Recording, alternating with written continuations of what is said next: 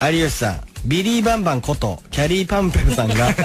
フランスの音楽番組で日本のアイドルはなぜ恋愛禁止なのかと聞かれこんなことを言ってやがりました。アイドルは男性にこびるというか男受けを狙っているんですけど私は全く異性受けしないことをやってるのでアイドルではないです。もっとアーティストよりのことをやっています。おいおい毒も出身のちょいブスが何かやってるぞ。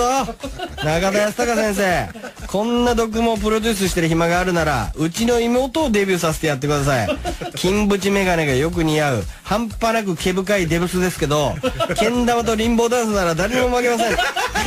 男受けを度外視した拷問アイドル。ジョリージョリジョリとしてデビューさ。せて妹思いだなお前は